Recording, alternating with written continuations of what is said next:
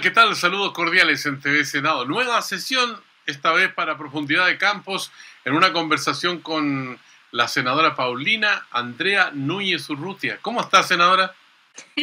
Oye, hace rato que no me decían el nombre completo. bien. Pues la audiencia del Senado es distinta que la de la Cámara de Diputados.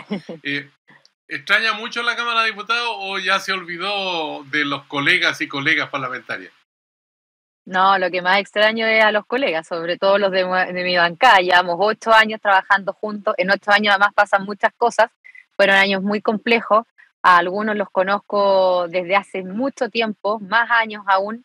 Eh, yo milito en Renovación Nacional desde los 22 años, así que a muchos los he conocido en, otra, en otras instancias y hemos sacado varios desafíos adelante juntos. Así que uno tiene amistad, no solamente son colegas, ¿cierto? Y, eh, y, bueno, y enfrentar tiempos complejos en un grupo humano siempre ayuda para afiatarse más. Así que a ellos se les echa mucho de menos, pero eh, al, al, a la institución misma yo creo que son etapas que uno va pasando y en el caso del Senado también veo una actitud distinta que la que vi en la Cámara y, eso también me tiene bien contenta porque siento una mayor disposición a lograr acuerdos, a dialogar, a una mayor voluntad y a la responsabilidad de, la revisión de los proyectos, que es una de las principales eh, funciones dentro del Senado. Ahora elige una región que es bien extensa, ir de un punto a otro. Uf, caramba, que hay que gastar energía. Eh, ¿Cómo se les arregla en Antofagasta? ¿Está contenta en toda esa zona del norte grande o no? Bueno, yo soy de Antofagasta, yo nací en Antofagasta, mi familia paterna es de Antofagasta, mi familia materna es de Los Ríos. Eh, se conocieron en la universidad mis papás, pero después ya deciden instalarse en Antofagasta. Y la verdad es que además eh, mi tatarabuelo llega, Sergio, a la Guerra del Pacífico. Yo de hecho tengo sus medallas. Eh, combatió ahí las batallas de Chorrillo, Miraflores, llegó hasta Lima. Y por lo tanto, yo soy de la región que represento. Y creo que eso es súper importante para un parlamentario donde eh, la atribución principal, ¿verdad?, es la de representación de su zona. No es lo mismo, eh, y aquí me van a perdonar los que a lo mejor todavía quedan eh, representando a sus zonas de esta forma, pero que un partido político, ¿cierto?, o, que uno se postule siendo de Santiago a representar una región del país. Yo creo que cuando uno es de la región, uno es de la zona, sabe de los dolores que existen, conoce la postergación respecto de, de, de, además nuestra región muy extensa en sí misma, pero muy aislada, de donde se toman decisiones. El cariño, evidentemente, a lo que es propio es muy distinto cuando uno llega y hace un trabajo por mucho empeño y cariño a su vez que le ponga, pero es distinto y, también cuando uno sigue viviendo en la región. Yo al final del día, y se lo digo siempre a todos los vecinos o las distintas organizaciones con las que me reúno, de lunes a jueves estoy entre Santiago y Valparaíso, que tampoco uno está en un solo lugar, ¿cierto? Y los jueves eh, nos vamos a la, a la casa, eh, yo no llego a un hotel, llego a mi casa, y, estamos allá terminando la, la, semana. Así que es muy extenso, pero también, eh, Sergio, uno tiene que tener el compromiso de recorrerla. Por ejemplo, en esta semana regional voy a estar en Oyagüe. El tema migratorio para nosotros es uno de los principales dolores que tenemos, y quiero decirlo de esa forma, una de las principales causas sociales que no ha tenido respuesta. Y en el caso de Oyagüe, así como en Colchán, en la región de Tarapacá, tenemos ahí un paso eh, sin frontera. En Oyagüe también, vamos a estar en San Pedro, Atacama no en ese San Pedro Atacama turístico, sino que en el San Pedro Atacama en los pueblos, al interior, y, no centrándonos solo en las eh, comunas más grandes, sino que también en aquellas pequeñas donde se hace patrio. Ahora, ¿qué le queda de la campaña? ¿Se acuerda de su estilo Barbie en su momento con una réplica ahí? ¿Cómo le fue con, con esa iniciativa? me fue, Bien, oye, a mí cuando la primera vez que la entregamos, Sergio, fue cuando yo asumí mi primera campaña de diputada. Y en esa oportunidad se me conocía muy poco, incluida en mi, en mi región, en el ex distrito 4. Hoy día la región es región-distrito, región, distrito, circunscripción. Bueno, en la campaña mandamos a hacer unas muñequitas. Yo esperaba, ¿cierto?, que eh, en una campaña que fue súper compleja, con un sistema binominal, era una campaña súper compleja, así que no teníamos eh, otra opción que empezar a hacer distintas y tomar distintas decisiones para aumentar el conocimiento. Y uno de esos fue lo que se le ocurrió a un amigo publicista al salir de un club alto mayor mandar a hacer una muñequita. Yo pensé que iba a ser algo bien distinto, tipo Pepona o algo más, más cercano. Eh, terminamos con una Barbie, pero la verdad es que sirvió evidentemente para, aumentar conocimiento, pero también yo digo, bueno, es una forma de estar dentro de las casas, llegar eh, a las personas. Algunos los criticaron, a otros les pareció fantástico, pero yo no tengo ninguna duda que sirvió al menos para que eh, esa primera campaña tuviéramos un buen resultado. Ahora, eh, usted tiene una tarea ahí bien compleja porque aparte de presidir la Comisión de Medio Ambiente y Bienes Nacionales, integra la Comisión Especial de Mujer y Género y preside la bicameral de transparencia. ¿Cuál de todas las comisiones se llama más? Eh, bueno, todas. Yo lo que sí creo que en el tema de mujer y equidad de género hay mucho que hacer. De hecho, recién estamos tratando de que sea una comisión permanente. No es una comisión permanente dentro del Senado.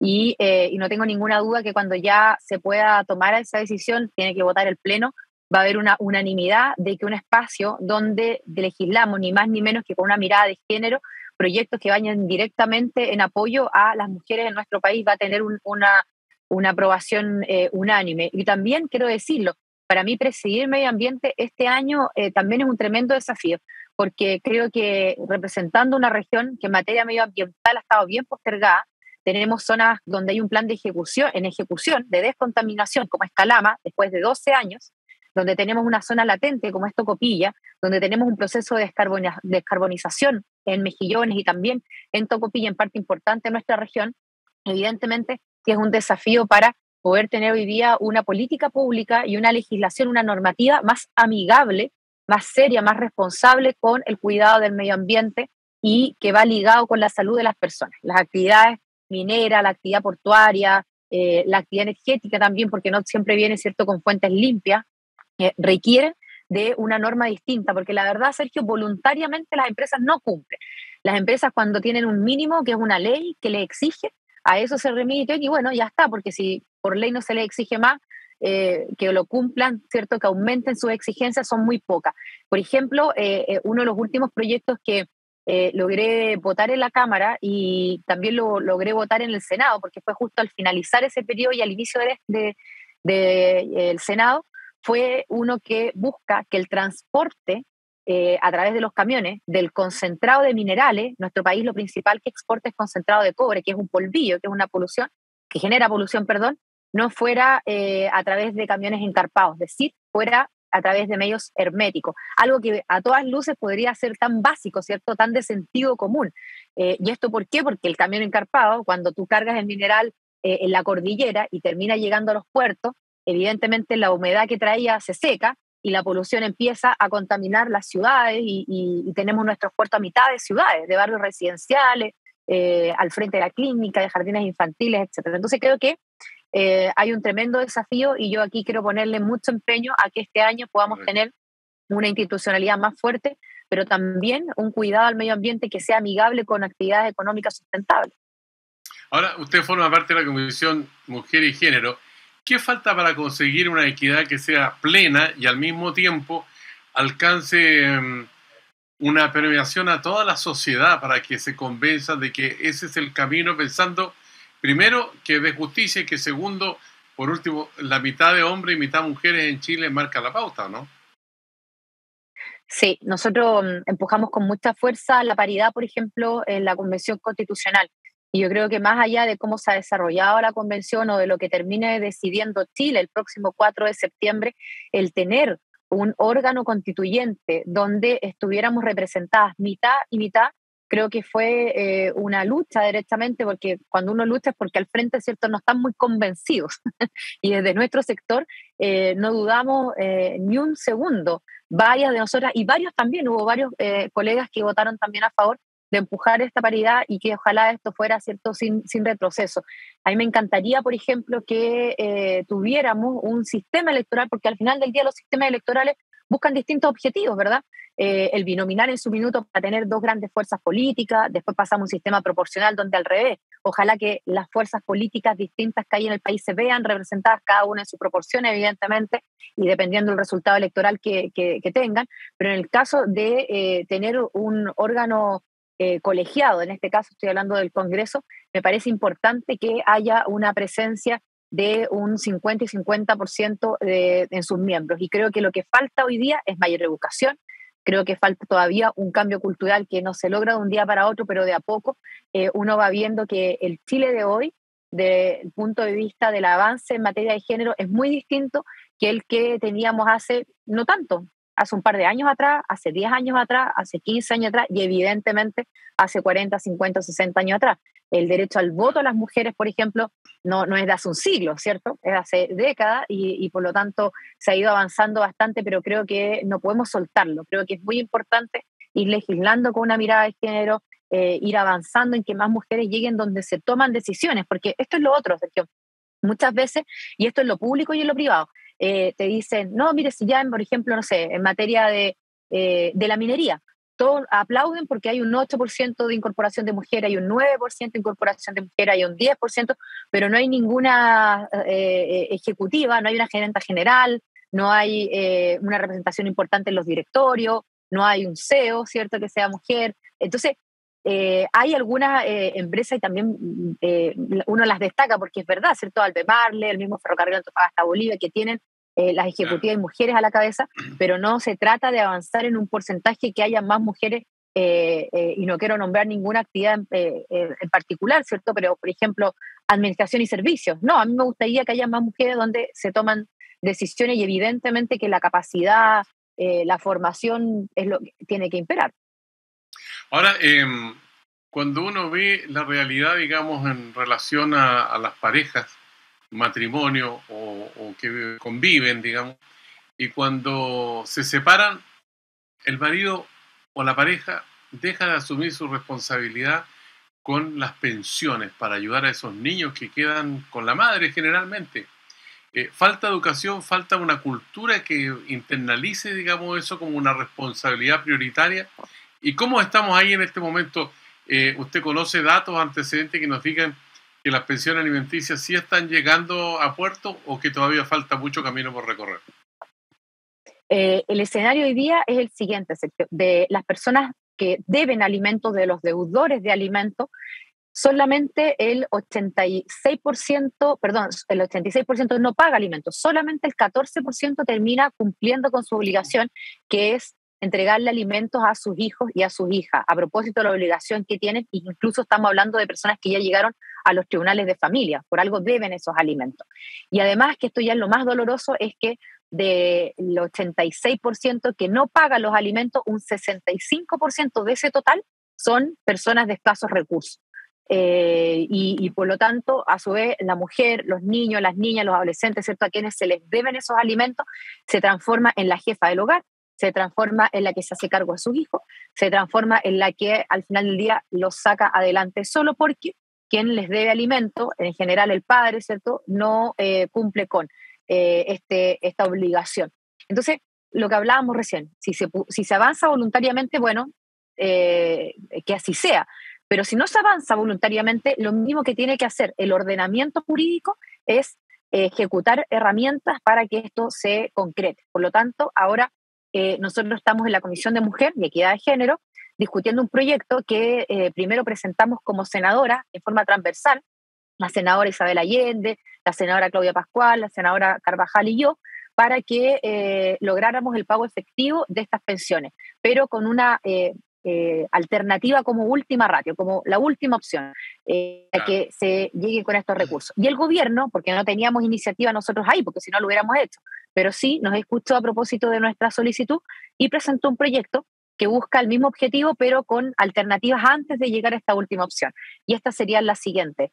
Eh, una vez que, mm, uno, que, el deudor entra al registro de deudores de alimento, este registro, uno, o sea, quien llega a ese registro es quien no paga su alimento en tres cuotas consecutivas, tres pagos consecutivos o en cinco discontinuos y queda registrado entonces. Hasta ahora, ese registro de alimentos, de deudores de alimentos, solamente em, cumplió un rol de multar, de sancionar al que no paga. En cambio, lo que estamos haciendo a través de estas leyes que estamos ya discutiendo es que el pago efectivo se produzca. Entonces, una vez que ingreses al registro de deudores de alimentos, la, mujer, vía solicitud al Tribunal de Familia, tiene la posibilidad de que éste eh, pueda pedir la información bancaria para que tanto en sus cuentas corrientes, cuentas de ahorro eh, o cualquier otro instrumento bancario se pueda detectar cuál es el patrimonio y con eso se directamente cierto se paguen esos alimentos. Y como última ratio, insisto, y ahí yo sé que han surgido algunos cuestionamientos, es que si no llega a tener ningún patrimonio en, en, la banca, eh, poder incluso llegar hasta sus fondos de ahorro. Yo sé que, insisto, puede ser cuestionado, ahí hay propiedad, pero bueno, ¿Quién puede estar pensando eh, ahorrar para su jubilación cuando no es capaz de cumplir con los alimentos de su hijo o de su hija? Estamos conversando con la senadora por la región de Antofagasta, Paulina Núñez, militante de Renovación Nacional. Hacemos una pequeña pausa aquí en Profundidad de Campos porque hay mucho más para conversar.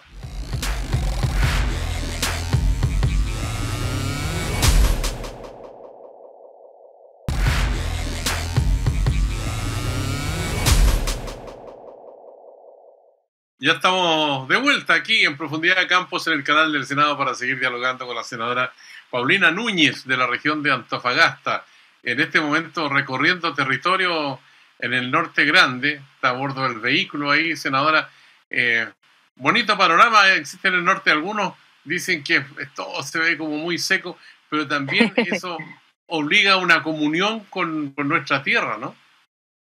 Sí, mira, primero, eh, esta semana vamos a estar en Oyagüe, en San Pedro Atacama, en Taltal. La semana pasada estuvimos en Tocopilla y en la Caleta Urco, cerca de Tocopilla. ¿Y por qué quiero nombrar eh, a estas localidades? Algunas incluso no son comunas, a estas localidades porque aquí también se hace patria. Y yo siempre he dicho que en el norte la cosa cuesta un poco más. Eh, y a veces se nos tilda, ¿cierto?, de que somos, no solamente que es más seco el territorio, sino que, que somos más secos nosotros también, los nortinos. Eh, el sureño es como más cariñoso, ¿cierto? Y, y, siempre es más invitador a los hogares, en el norte no tanto. Pero la verdad es que yo creo que eso también, Sergio, responde a una cuestión bien de cultura, bien de la idiosincrasia del norte y de nuestra historia y nuestra identidad. Porque al final del día en el norte, al costar todo más, por ejemplo, ni la tierra da. Eh, cuando uno recorre cierto el sur de nuestro país o la zona centro-sur, por último la tierra algo te da y a las personas eh, eh, o las personas pueden recurrir a esta para poder incluso alimentarse. En el caso del norte no, la escasez de agua además hace que las personas choquen con esa realidad. también hemos visto muchos dolores durante el último tiempo que nos han tenido con, con mucho temor, por ejemplo, hay que decir lo que es el aumento de la delincuencia, delitos a los que no estábamos acostumbrados. Creo que todo eso se va sumando para que uno vaya actuando de una u otra manera, pero es una zona que también yo siempre lo digo, eh, es la que sostiene al país y que poco y nada nos llega de vuelta, y eso indiferente del gobierno que esté de turno. Así que en eso hay una labor principal de quienes representamos a la región. Eh, yo trato de hacerlo en cada espacio y rincón que tenga, porque de lo contrario se olvida que eh, el extraer recursos, el traer a, a, Santiago, al resto del país, eh, tiene costo, pues, tiene costo en materia medioambiental, tiene costo en materia de la salud de las personas, tiene costo en el impacto cierto en nuestro territorio. Eh, y por último, si eso se, fuera, se viera reflejado una mejor calidad de vida, bueno, no sé si sería una manera de compararlos, pero eh, al menos habría alguna retribución. Ni eso a veces llega y por eso es tan importante, ¿cierto?, volver a recordarlo para volver a tener una, una mejor o mayor consideración con, con, esta zona que tanto da y que tampoco recibe de vuelta. Pues bueno, estamos pasando ya casi de 90 días de ejercicio del poder de una nueva coalición formada por dos grupos importantes y con Gabriel Boris Font eh, a la cabeza como presidente de la República. Usted lo conoció bien de cerca ahí en la Cámara de Diputados, me imagino.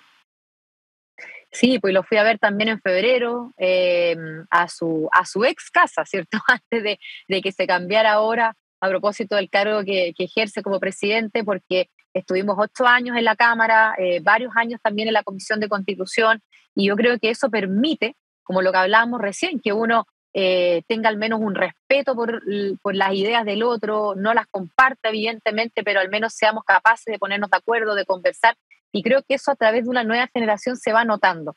También, eh, y, él, y él mismo lo decía el otro día, ahí me he enojado, un poco molesto, pero bueno, la presión es bastante, pero de que hemos tenido em, eh, eh, hemos concordado en algunas cosas y en otras no, y en eso tampoco hay que olvidarse. Yo formo parte de la oposición, soy la jefa de la bancada de senadores y senadoras, y evidentemente que cuando el gobierno eh, o haya cometido un error o, esté, tomando, esté tomando decisiones que nosotros no compartimos, hay que decirlo. Solamente que sí creo que es importante poner siempre al país por delante. Por lo tanto, creo que hay formas y formas, y muchas veces esas formas son tan importantes como el fondo del asunto.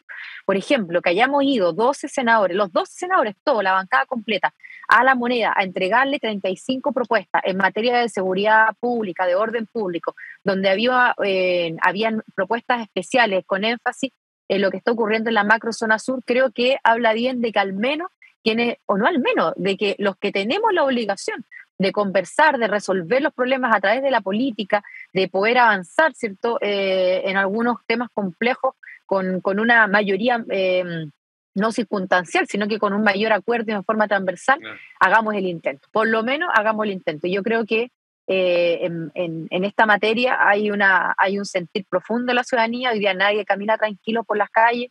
Creo que lamentablemente em, las casas terminan todas, ¿cierto? O, o enrejadas o resguardadas, en fin.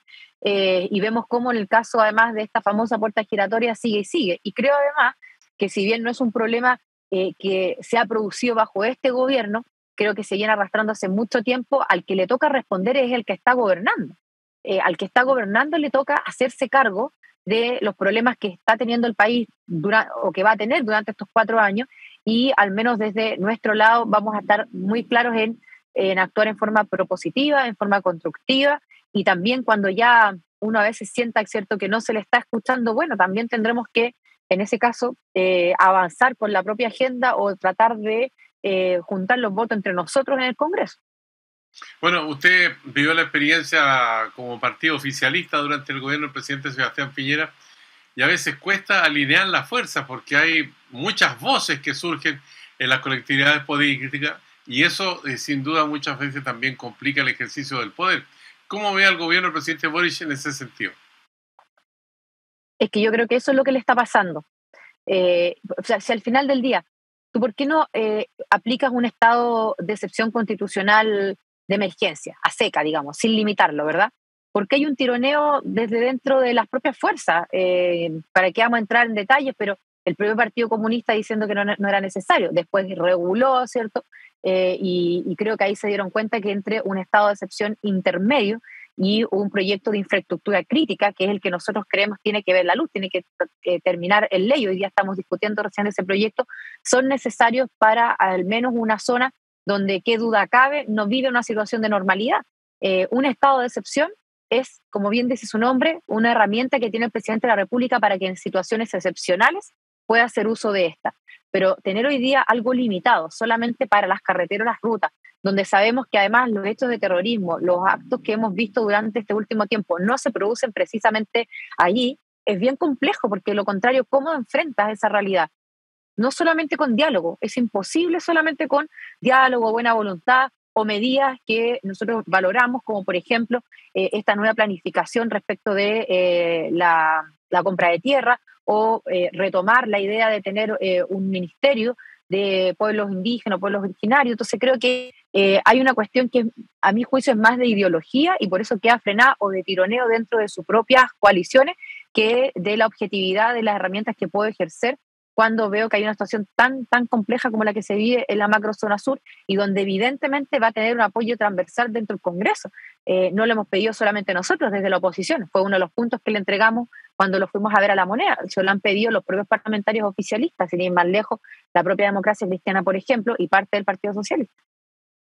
Ahora, eh, usted se refiere a esa violencia que existe en la macrozona, pero al mismo tiempo tenemos violencia estudiantil entre los jóvenes, la violencia de la delincuencia y del narcotráfico por otra parte, y además existe la, violencia desatada, digamos, en, en, muchos casos del punto de vista intrafamiliar. Entonces, aquí tenemos un fenómeno que, que es grande, tremendo. ¿Cómo lo podemos afrontar como sociedad, digamos, sin que se entre a discutir del punto de vista de lo que unos creen como posible, otros como, como real, otros piensan que a lo mejor no es tan grave el problema. ¿Usted cree que vamos a llegar a unificarnos para, para observar este fenómeno como un todo? Yo espero que sí. Yo creo que eh, donde debería haber un acuerdo lo más amplio y transversal posible es en materia de seguridad ciudadana. Y yo no hablo ni siquiera del orden público, donde además esa frase nos lleva inmediatamente a pensar en la situación de la macrozona sur. Yo hablo de seguridad ciudadana, como tú bien decías, Sergio, a propósito de lo que está pasando en las escuelas y los colegios, a, propósito de lo que está pasando con los delitos del día a día, los portonazos, por ejemplo. Eh, hoy día, de hecho, parte del juicio, ¿cierto? Eh, a propósito de Tamara, una chica que pierde su vida, una menor de edad que pierde su vida eh, por una bala loca dentro de, este, de esta encerrona y, eh, y, que reactiva la discusión de esta ley, donde hay un compromiso de que sea ley lo más pronto posible, sin ir más lejos, yo creo que en las próximas semanas. Pero yo creo que este tema no puede enfrentarse de manera ideologizada. Yo creo que este tema tiene que enfrentarse con medidas concretas, mayores recursos, por ejemplo, cuando ya se discuta la ley de presupuesto y tengamos que aprobarla en el Congreso, con un trabajo con los alcaldes y coordinado el trabajo con ellos a su vez en cada comuna. O sea, si no nos sentamos a... Eh, mira, yo no sé si a esta altura es una mesa de trabajo, una comisión, que han habido varias también. Eh, eh, ya veremos cuál es, es, la herramienta, la fórmula, ¿verdad? Pero sí tienen que estar todas las miradas sobre la mesa, porque lo contrario va a ser muy complejo hacerle frente entre todas y todos a la situación de la falta de seguridad ciudadana que existe hoy día en, nuestro país. Hoy en la mañana se incendiaba casi todo, o sea, lo único que faltaba es que se empezara a incendiar la moneda, porque la verdad es que lo demás ya eran, ya, ya como que cada uno se manifiesta como mejor le parezca y no hay un paralelo de decir esto no se puede. Y vemos también cómo eh, hay, una, hay un poco respeto a quien tiene ni más ni menos que la, eh, la facultad, el deber de resguardar el orden público. Yo creo que eso es un cáncer que a poco se ha ido, ha ido creciendo dentro de nuestra sociedad y que va a ser muy difícil de recomponer. Y, y, en esto medias culpas también son importantes por respecto a la propia institución. Pero si no nos, no, no nos sentamos a tener medidas concretas, presupuestos, acuerdos, en fin, en esta materia, cada uno Sergio, va a poder va a hacer lo que buenamente pueda y no vamos a enfrentar de manera integral eh, esta, esta situación. Eh, senadora Paulina Núñez, ¿qué va a pasar el 4 de septiembre con usted? ¿Usted va a votar a favor o en contra de la nueva constitución? ¿Apruebo o rechazo? Yo sé que usted tiene una voz ahí que al oído le va contando permanentemente lo que pasa al interior de la convención, de la, de la convención. Eh, su esposo Cristian Monker forma parte de los constituyentes. ¿Cómo, ¿Cómo ve usted el panorama? Sí, pues ha sido bien complejo. Nosotros la verdad es que estuvimos con mucha fuerza eh, y yo formo parte y él también, bueno, de los chilenos y chilenas que dentro de un 80% votamos a prueba y por lo tanto queremos una nueva constitución. Yo creo que hoy día lo más relevante es que, indiferente del resultado del 4 de septiembre, tengamos un compromiso de que en Chile haya una nueva constitución, porque al final lo que eh, se va a votar el 4 es una propuesta de texto del trabajo de una convención constitucional y eh, no quita que, eh, insisto, indiferente del resultado, uno pueda seguir avanzando en poder tener una nueva constitución. Yo creo que eh, en, esta, en esta pasada, ¿cierto? en este trabajo, siento que quienes tuvieron mayoría se farrearon la posibilidad de tener un diálogo distinto. Eh, y en esto tampoco quiero sacarnos la sur entre gitanos. Obviamente que quien tiene mayoría avanza con más fuerza o trata de imponer cierto, más visiones o por dónde debería ir la cosa, pero no deja a todo el mundo abajo, porque lo contrario va a pasar o termina pasando lo que hemos visto, donde lo que se suponía era la casa de todos y que todos nos viéramos relativamente representados, estamos eh, bien, bien, bien desganado, bien desesperanzado, incluso en lo que pueda llegar a pasar, pero tenemos el deber, sobre todo quienes ejercemos un cargo, de seguir mirando el futuro, de no retroceder ni quedarnos estancados. Y en eso yo quiero ser súper clara. Así que estamos esperando que termine el trabajo, de eh, la armonización, de los artículos transitorios, ¿cierto? Unas cuestiones a veces más de forma, pero también leyendo ya el texto final, porque evidentemente ya yo al menos lo tengo impreso, destacador en mano, fui leyendo, además hacerme mi, formarme mi propia convicción, sobre todo en temas que, que me parecen eh, importantes que eh, queden de buena forma, no me gustan mucho. Así que yo creo que eh, lo primero que uno debería comprometer, sobre todo quienes ejercemos un cargo desde el Congreso, es que em, indiferente el resultado, que por lo demás ya nos va a dejar divididos, o sea, va a ser muy estrecho. Yo creo sinceramente que va a ser un resultado muy estrecho.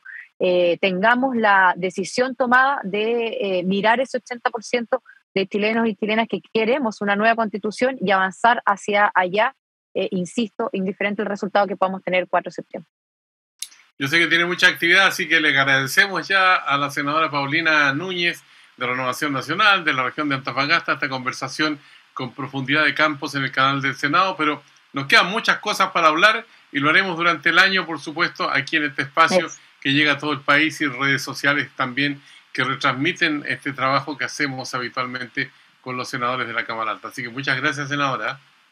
No, al contrario, Sergio, un gusto haber conversado contigo y muchas gracias a todo el equipo por hacer posible este espacio para que vayan conociendo el trabajo que estamos haciendo y también lo que opinamos de algunos temas más contingentes. Así que muchas gracias. Gracias a usted. Y a usted que sigue estas conversaciones aquí en el canal del Senado, le decimos hasta la vista.